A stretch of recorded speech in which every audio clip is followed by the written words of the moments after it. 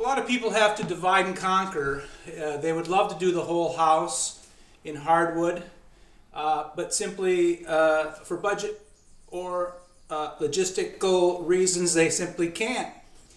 Um, and uh, that poses some some problems uh, potentially.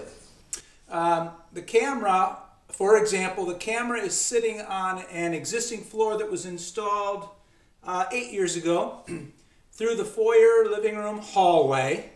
And now I'm kneeling in a formal dining room that was carpet at the time, but uh, the homeowner has decided that it's it's time to get rid of the carpet and to uh, install a hardwood floor. As you can see, the existing floor uh, is an it's a nail down, solid three quarter inch uh, traditional floor uh, laid perpendicular to the joists, and um,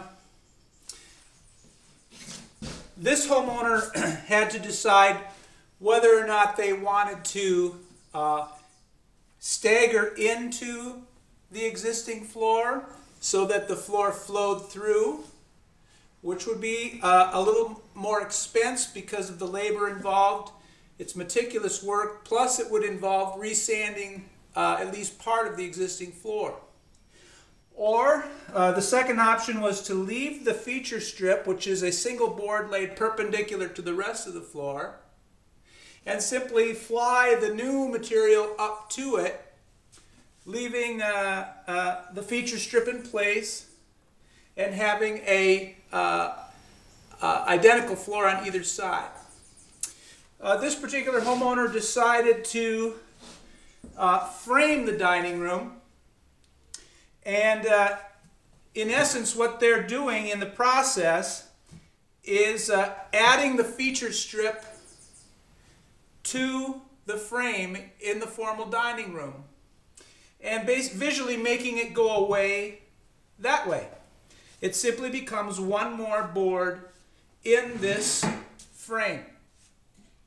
And when you're doing a formal dining room uh, with symmetry, uh, if the room is, is somewhat symmetrical, uh, I, you have choices. I've done medallions in the corners. I've done a simple pinstripe of an exotic. I've done a, a pinstripe of exotic with a brass inlay in the middle.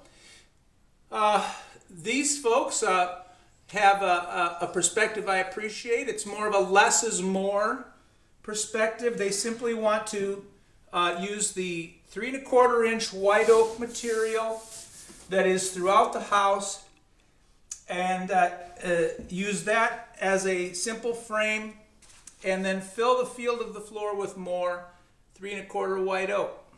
I think that's great. Uh, many times less is more and we certainly don't want to get too cute for the room. So you can see, I think the camera can, can pick up this three board frame as it continues through this bay. And let me just add a board to give you the full effect.